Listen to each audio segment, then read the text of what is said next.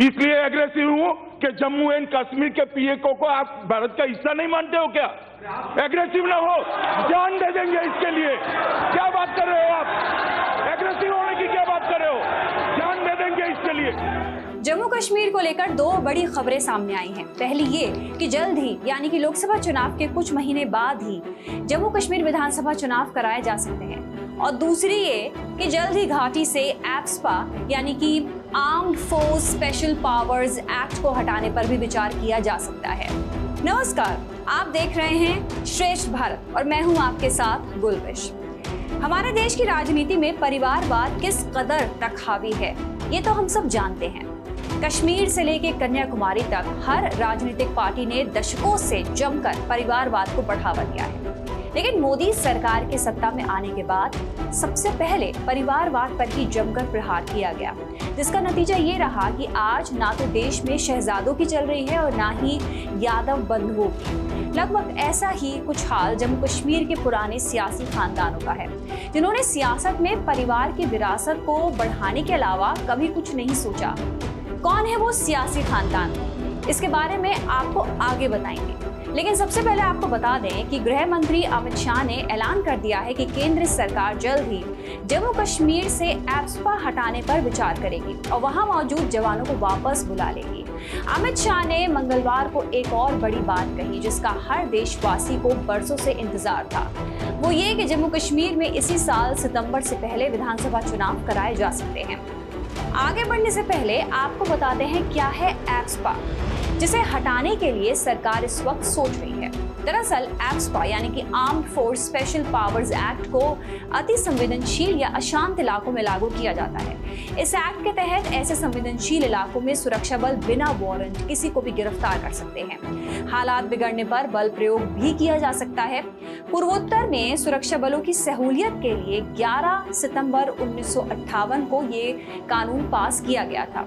वहीं जम्मू कश्मीर में आतंकवाद बढ़ने पर यहाँ भी 1990 में एक्सपा लागू किया गया था, जिसे अब सरकार हटाने पर विचार कर रही है। क्योंकि माना जा रहा है कि अब घाटी में ज़िंदगी सामान्य लोगों की तरह पटरी पर लौटने लगी है और आतंकवादी गतिविधियों पर भी काफ़ी हद तक लगाम लगाई जा चुकी है। जम्मू कश्मीर की बदलती आबो हवा पर इस वक्त पूरी दुनिया की नज़र है। घाटी में जिस तरह तेज़ी के साथ विकास कार्यों को अंजाम दिया जा रहा है, उसे न सिर्फ़ वहाँ के नौजवानों की किस्मत बदलेगी, बल्कि टूरिज़्म को भी बढ़ावा मिलेगा। टूरिज़्म को बढ़ावा मिलेगा तो यहाँ रोज़गार के अवसर बढ़ेंगे, जिसका सीधा सा असर जम्मू कश्मीर की आम जनता को ही होगा।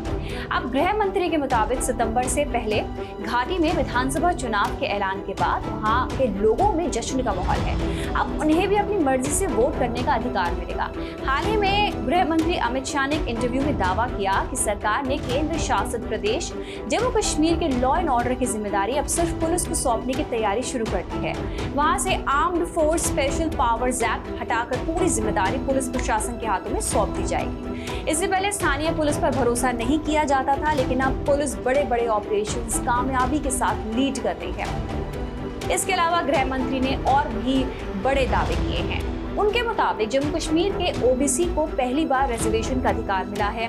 शाह ने कहा कि जम्मू कश्मीर के ओबीसी को मोदी सरकार ने रिजर्वेशन दिया। घाटी की महिलाओं को भी हमारी सरकार ने एक तिहाई आरक्षण दिया। इसके अलावा पंचायत और शहरी स्थानीय निकायों में ओबीसी रिजर्वेशन की व्यवस्था की गई है।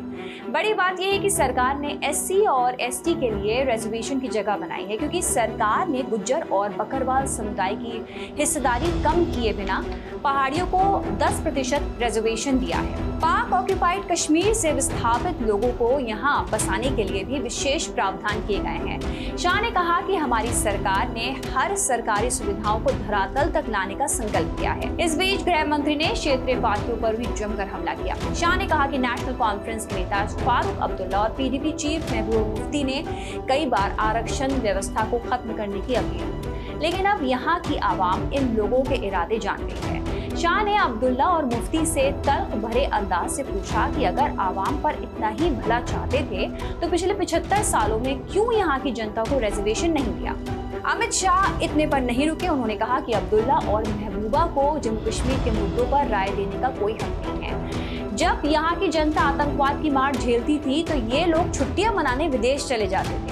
इन दोनों के कार्यकाल में बहुत फेक इनकाउंटर हुए थे। लेकिन पिछले पाँच साल में यहाँ एक भी फेक इनकाउंटर नहीं हुआ। इसके बाद शाह ने बताया कि कैसे मोदी सरकार ने घाटी में 12 संगठनों को बैन किया है, जिनके तार सीधे आतंकवाद से जुड़े हुए थे। शाह ने उस इंटरव्यू में कई आंकड़े पेश करते हुए कहा कि 2010 में जम्मू कश्मीर में पत्थरबाजी के दो घटनाएँ हुई थी, जो अब ज़ीरो हो गई हैं। 2004 से 2014 तक आतंकवाद की 7,217 घटनाएँ हुई थी अब इसमें 70 प्रतिशत की कमी आई है 2014 से 2023 तक ये घटनाएँ घटकर 2227 हो गई हैं 2004 से 2014 तक हुई मौतों की कुल संख्या 2829 थी 2014 से 23 के दौरान इसमें अड़सठ फ़ीसदी की कमी आई है 2014 से 23 तक 915 मौतें हुई हैं। अमित शाह ने कहा कि मोदी के कार्यकाल में आम नागरिकों की मौतों में भी कमी आई है। 2004 से 2014 के बीच 1770 आम नागरिकों की मौतें हुई थी। मोदी सरकार के कार्यकाल में अब तक 341 मौतें हुई हैं। 2004 से 2014 तक 1060 जवानों की जाने गई थी। मोदी सरकार के कार्यकाल में पाँच सौ चौहत्तर जवानों ने अपनी जाने गंवाई। इंटरव्यू के अंत में गृह मंत्री अमित शाह ने जम्मू कश्मीर के लोगों ऐसी अपील की कि उन्हें पाकिस्तान की तरफ़ से हो रही साजिश से दूर रहना चाहिए। शाह ने कहा कि आज पाकिस्तान भुखमरी और गरीबी की मार झेल रहा है। आज वहाँ के लोग भी हमारे कश्मीर को स्वर्ग के रूप में देख रहे हैं। शाह ने कहा कि अगर कोई कश्मीर को बचा सकता है तो वो है प्रधानमंत्री मोदी जी। मोदी सरकार शहीदों के परिजनों को नौकरी देकर सुरक्षा बलों का मनोबल बढ़ा रही है। आज एक भी शहीद का परिवार बिना नौकरी के नहीं है। मोदी की गारंटी है कि कश्मीर को दुनिया का स्वर्ग बनने से अब कोई नहीं रोक सकता नमस्कार। श्रेष्ठ भारत पर खबरों से जुड़े रहने के लिए चैनल को सब्सक्राइब करें, बेल आइकन दबाएँ और देखते रहें श्रेष्ठ भारत।